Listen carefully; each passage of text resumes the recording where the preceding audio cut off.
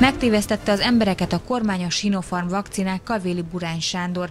A politikus a járványkezelés gazdaságot érintő részével is elégedetlen, szerinte azt elbukta a kabinet. Burány Sándort kérdezzük. Kezdjük a vakcinával, jó estét kívánok! Jó estét kívánok! Képviselő úr, amikor azt mondja Orbán Viktor, hogy a harmadik oltás jöhet, és nem magyarázza el, hogy miért feltétlenül csak azért, mert hogy a kínai vakcina, hanem mert hogy vannak, akik nem védettek, és ez így biztonságosabb. Akkor ezt egyúttal beismerő vallomásnak kell tekintenünk? Tényleg? Mert ő ön ezt mondja, de, de ebben nem volt beismerés.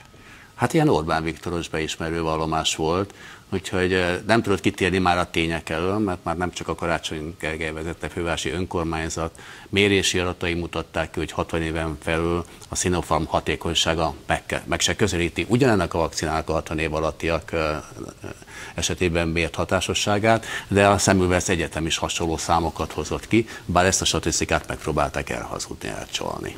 Hát azért Merkeli professzor előállt vele, csak mm. ugye ott egészen más számok voltak, jobb számok voltak, mert másféle tesztelést használtak, ezt itt Meg, meg ők nem csak a 60 éven felettieket mérték, és ebben hazudott a kormány, a 60 év felettieknél néhány százalékpontnyi különbség Igazából volt. azért kellene között. bocsánatot kérni az ön álláspontja szerint, mert oltották a 60 felettieket, miközben a kínaiak megmondták, hogy 60 alattiakat kell ezzel oltani? És ez az egyik, ez a fontosabb és ez a súlyosabb dolog, hogy 60 éven felett felettiek esetében olyan vakcinát alkalmaztak, ahol maga a gyártó is azt javasolta, hogy 60 év alattiakat oltsanak fel, és egyébként mindenhol a világon, ahol alkalmazták egyáltalán a Sinopharmat, ezt a eljárást nem követték. Az a gondolat, hogy minél több embert és a legveszélyeztettebbeket bármivel, ami nem árt nekik, olcsunk, olcsunk, olcsunk, hogy nehogy bajba kerüljenek, hiszen azt lehetett látni, ugye a Pesti úti eset volt a legfényesebb, fényesebb, hát milyen kifejezés ez ide, a legszörnyűbb bizonyítéka annak, hogy az idősebbekre mennyire veszélyes ez a járvány.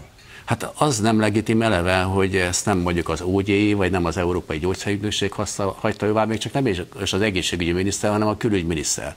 Tehát akinek semmi köze ahhoz, hogy egyébként ez a vakcina jó, hatásos, nem hatásos, egyáltalán mi van. Hogy Tehát az, jóvá hagyta ezt a vakcinát itt Magyarországon? A bevezetésről Szijjártó Péter döntött. Egész pontosan úgy volt ez a folyamat, hogy a kormány felállított egy szempontrendszert, ha valahol a világban legalább egy millió embert beoltanak vele, ha egy EU-s országban, vagy EU felé haladó országban alkalmazzák, akkor a külügyminiszter felhatalmazza arra, hogy engedélyezze Magyarországon történő használatát is. És pontosan ez történt, két nap múlva a kormányhatározat után Szijjártó Péter aláírta. Nem Kásler Miklós, nem az OGI. Az OGI lehet, hogy utána vizsgálódott, meg mindenféle vizsgálatok voltak, de a bevezetésről Szijjártó Péter döntött, ez de facto így van.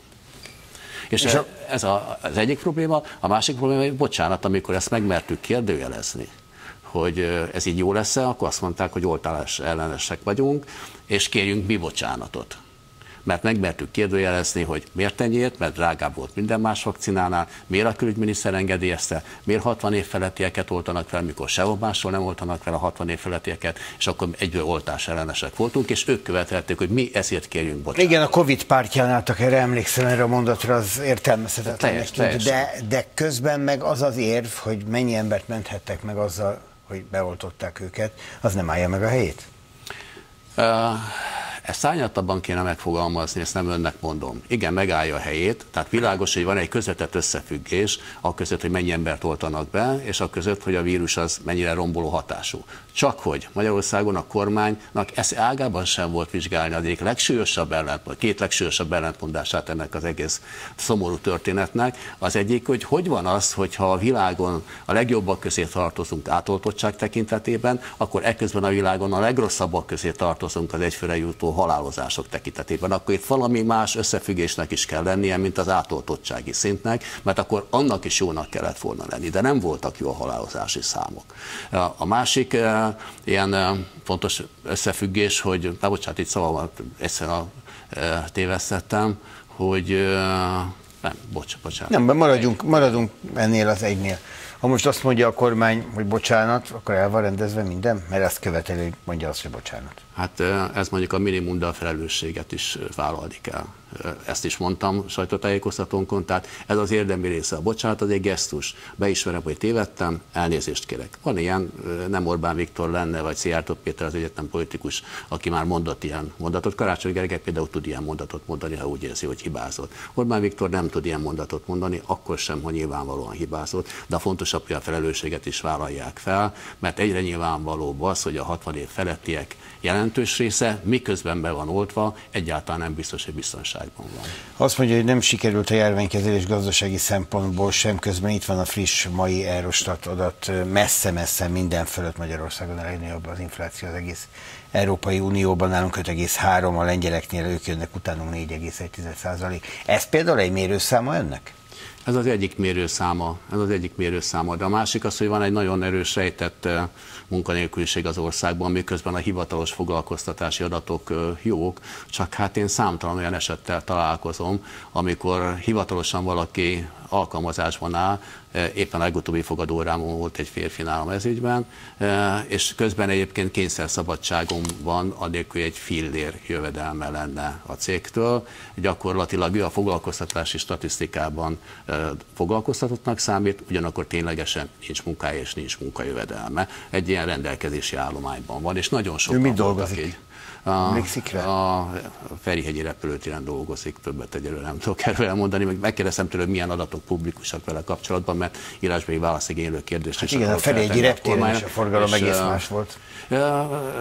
Ez egy külföldi cég, amelyik ott dolgozik a Ferihegyi repülőtéren, és visszaestek a egyszerűen elküldték a, az embereket ilyen otthoni állományba.